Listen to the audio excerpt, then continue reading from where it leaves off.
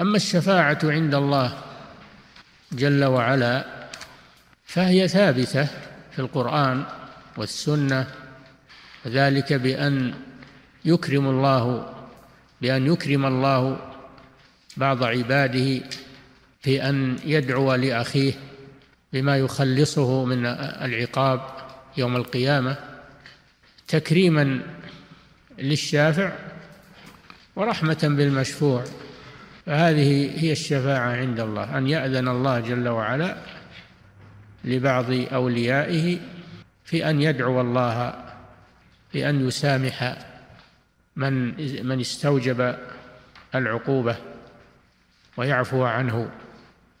وهذه ثابتة في القرآن لكن بشرطين. الشرط الأول أن تطلب الشفاعة من الله تطلب الشفاعة من الله.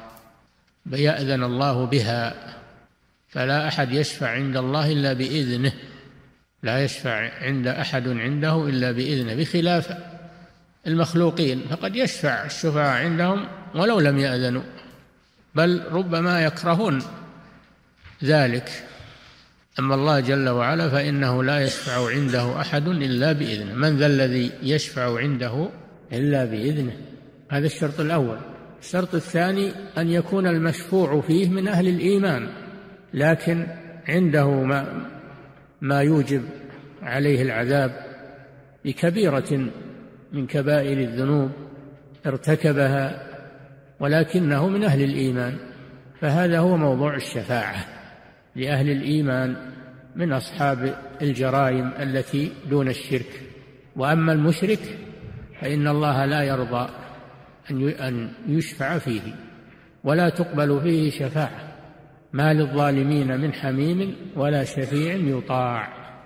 قال تعالى ولا يشفعون يعني الملائكة ولا يشفعون إلا لمن ارتضى ارتضى الله قوله وعمله وهو المؤمن. أما الكافر فإن الله لا يرتضيه فلا تنفعه الشفاعة.